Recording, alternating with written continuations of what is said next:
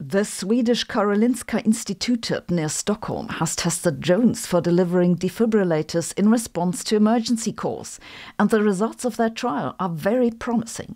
In a recent paper, they released the results of their test program.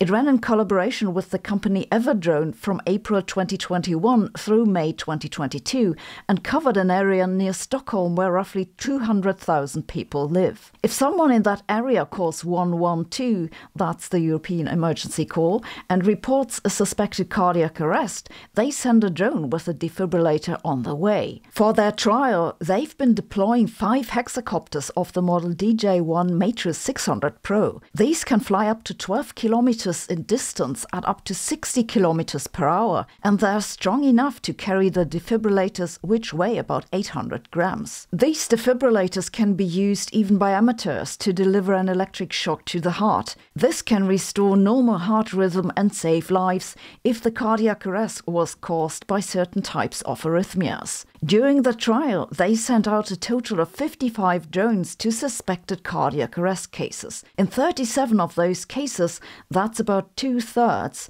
the drones arrived before the ambulance, on average 3 minutes and 14 seconds earlier. That doesn't sound like a lot, but for a cardiac arrest, 3 minutes can be the difference between life and death. Out of all those suspected heart attack cases, 18 were actual cardiac arrests, and in six of those cases, the drone delivered defibrillator came to be used by bystanders. And that's great, but I'd really like to be able to pre order them so that I can have one waiting next time I look at my stocks. Many thanks to our sponsors on Patreon, especially those of you in Tier 4 and higher.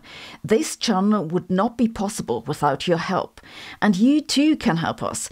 Check out our Patreon page or support us right here on YouTube by clicking on the join button below. Thanks for watching. See you tomorrow.